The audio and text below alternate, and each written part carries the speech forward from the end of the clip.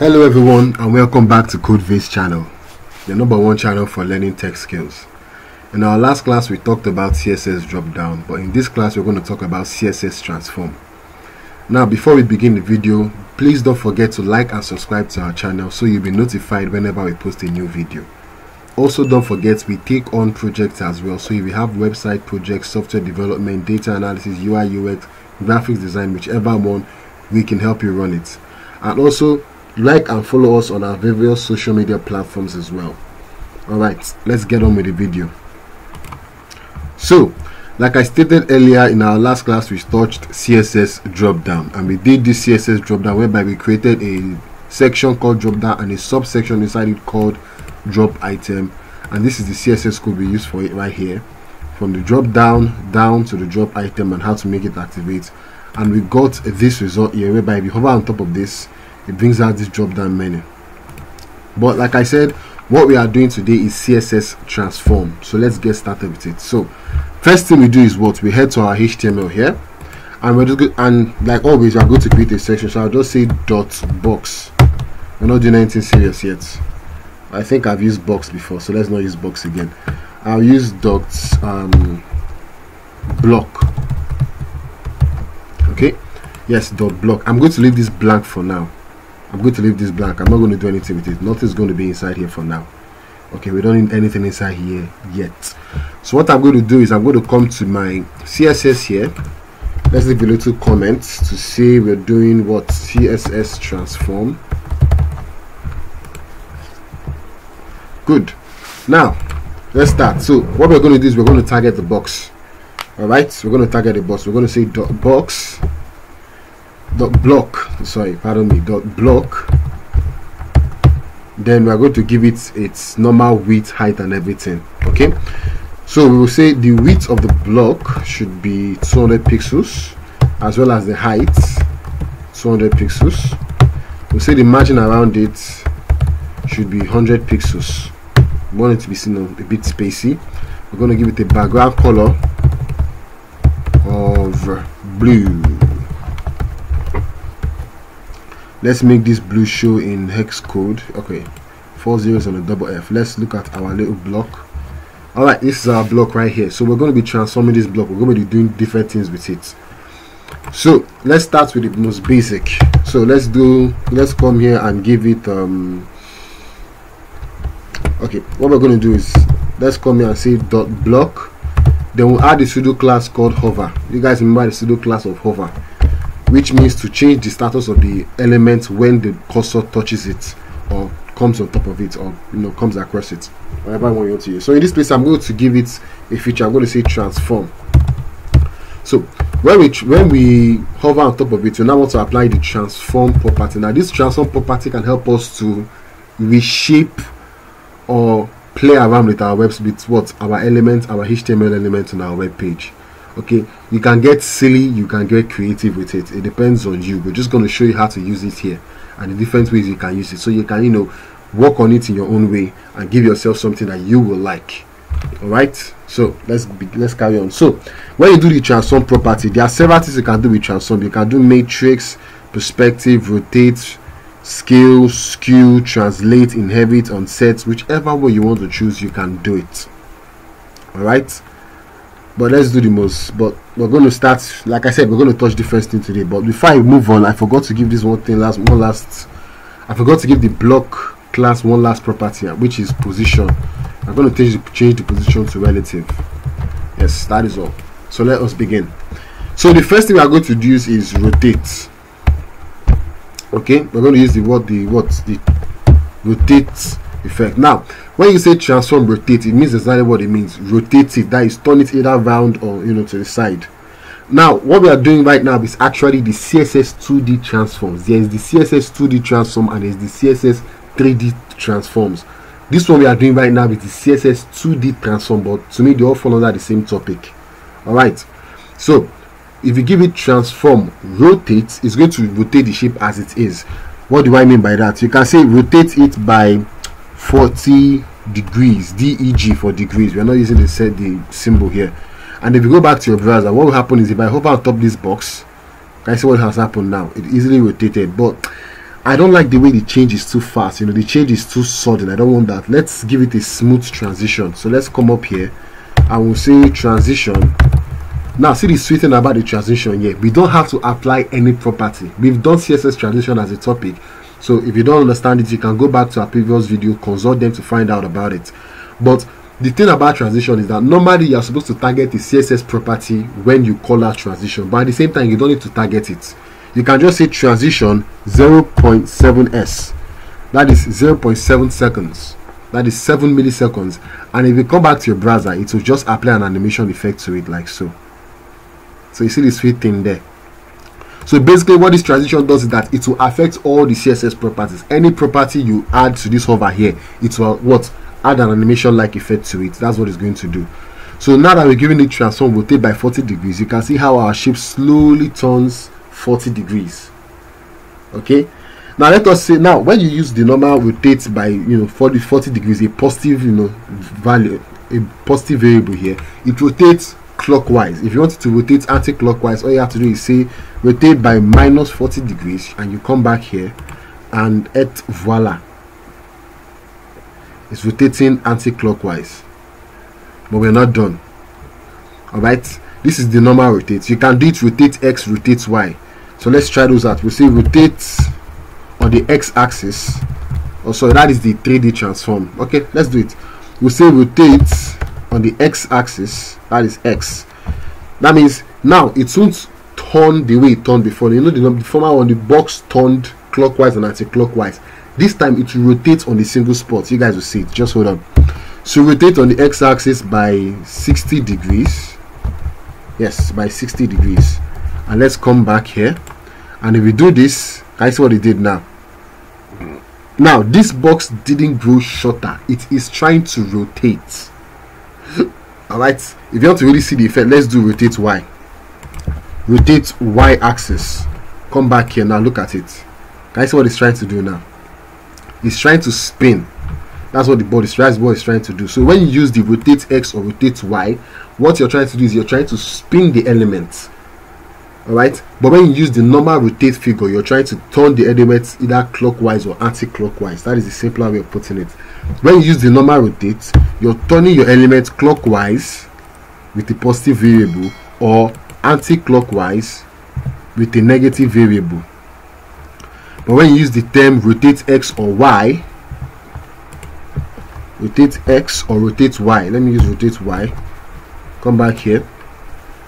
That means you're trying to what? Spin your element on the spot. So you can do several things with this. You can get creative you can get crazy you can get silly you can get you know mad creative with this. So play around with it as much as you want.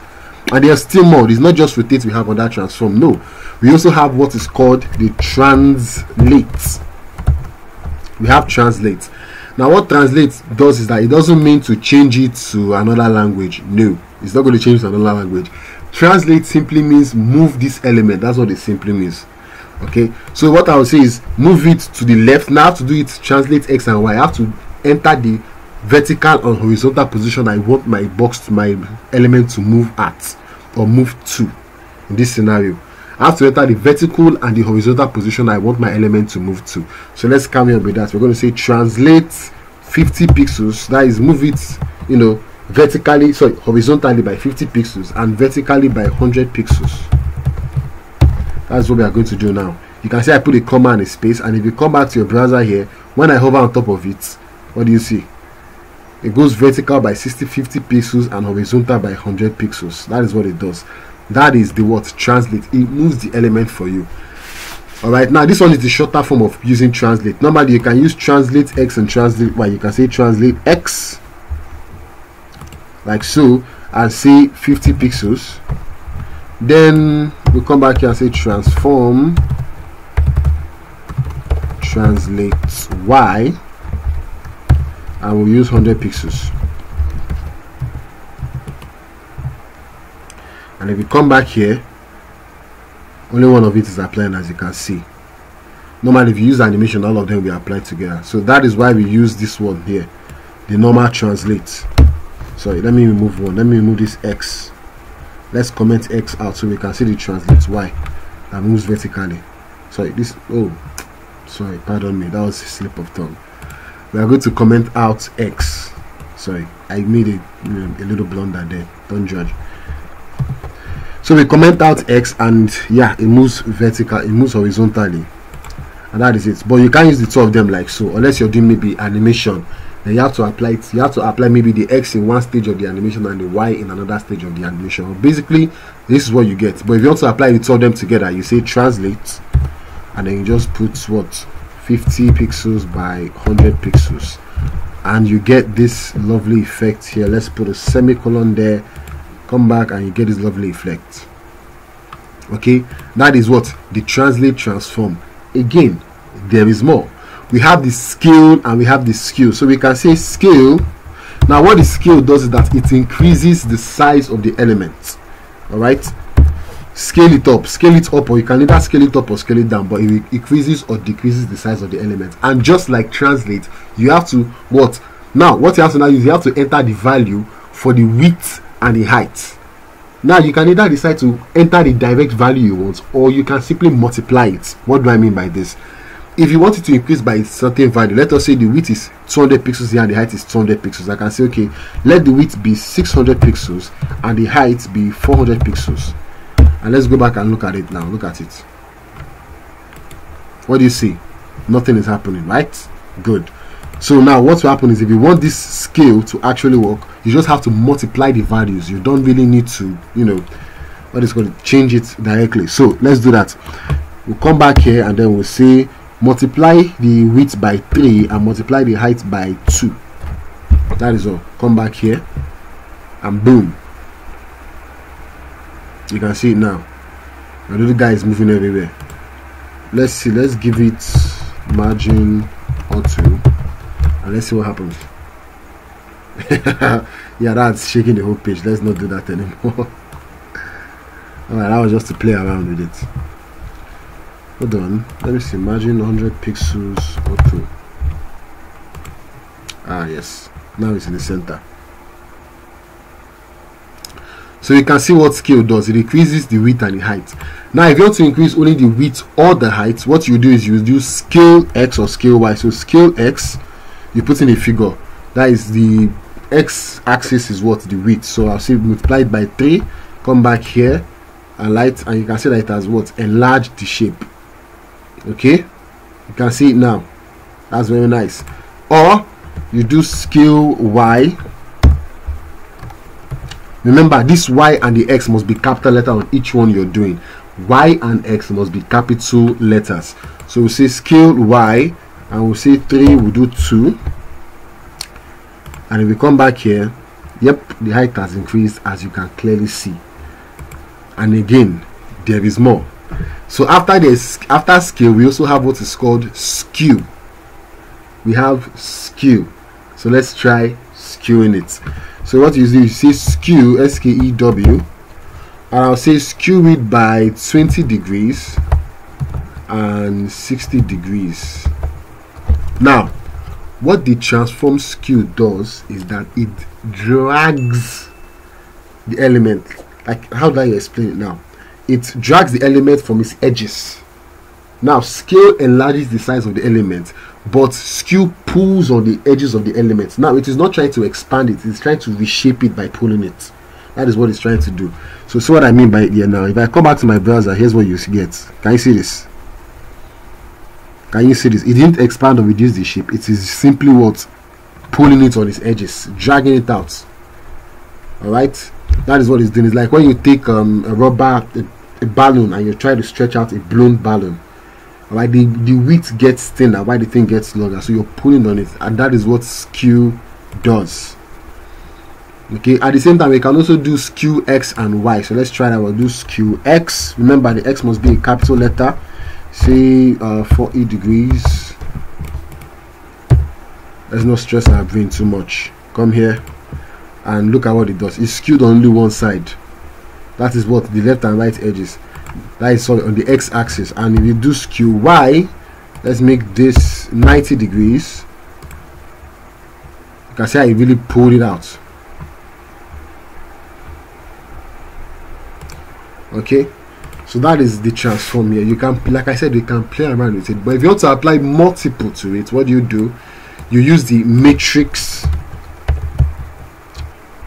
the matrix property. Now this one allows you to apply all the transform we just did. It allows you to apply it to your work. So let me sorry let me i forgot. Let me list down all the transforms we did. I'll comment them out as i'm listing them transform um, rotate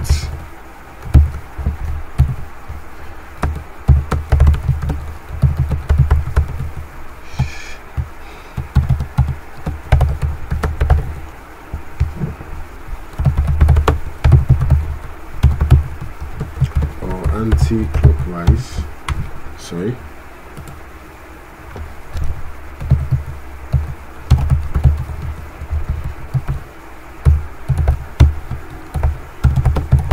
The positive or the variable. Then we have the rotate x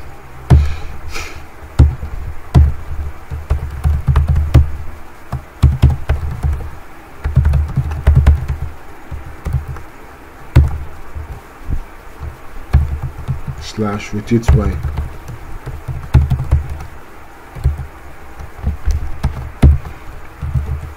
and we'll say this one what does it do? It spins the element on its respective axis.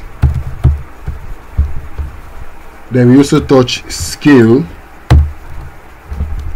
We touch transform scale and we see what a scale does. Scale increases the elements width and height depending on the values entered. That means only two values let's be specific here two values entered. I didn't put depending here. Sorry about that.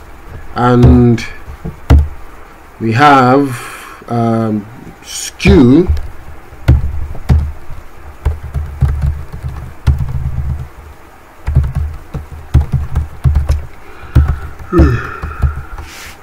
And what does that do? It um, pulls on the edges of the elements depending on the values entered okay?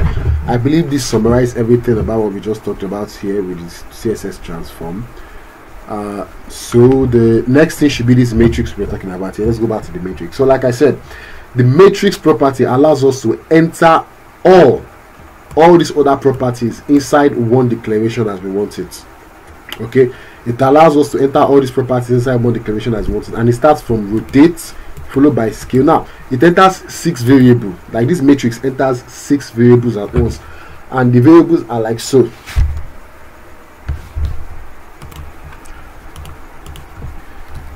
Using so the way it works is you have to first start with okay you know what? Let me comment it out. When using the um, transform matrix property this is how you enter it. All right let me comment it out for you guys first. Transform matrix. So the way this one works is you start it enters it takes in six values. And the six values are takes in all other rotates other transform values. Sorry transform value um, variables variables. And in this order in this order yes in this order. The order is it starts with um what's the again scale x followed by skew y skew x scale y translate x. Uh, let's see what's the next one? Then translates y. Yes. So this is how you enter your matrix i believe. Skew skew skew that is three. Skew translate translate that is six yes. So you must follow this order when entering the values the transform values for this matrix variable here. So let us try it out we start with the scale x. So we say scale x. Remember when you're using scale you just multiply the value. So we say scale on the x-axis by 3 that's the width and skew on the y-axis by 4 deg 4 degrees yes comma. Then we now skew it on the x-axis by maybe 8 degrees. We don't want to do it too much. Then we scale it on the y-axis by what?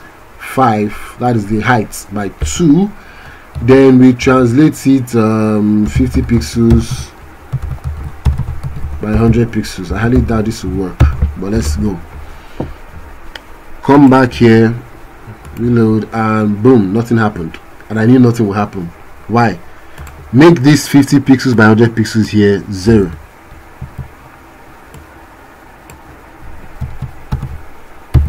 zero zero each. Come back. Nothing still happened yes. Come back to this degree here. Make it 8 and 4 don't enter unit of measurement just enter values. Now it has worked. That is all.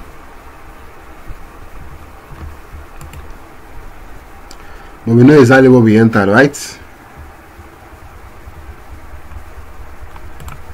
and that is the way the matrix works. So that is all the transform properties in css now like i said this is just the basic. It is left for you to play around with it anyhow you want. And with this we are done with the video for today. Please don't forget to like and subscribe to our channel so you'll be updated whenever we post a new video. We also have a whatsapp community whereby we engage our we engage our audience's questions inquiries and also we give them quiz to keep their mind sharp please if you want to join that community check the description below this video and you will see a link to that. Don't forget to also follow us on our respective social media platforms. Okay we really love to have you there. And please if you like this video feel free to like subscribe and comment on that if you have any questions please ask us. We are more than happy to get back to you. All right? We also take on projects. Don't forget. So if you have a project you want to take on please feel free to reach out to us and we'll help you out with it once again this has been CodeVase we thank you very much for your time. Do have a nice day ahead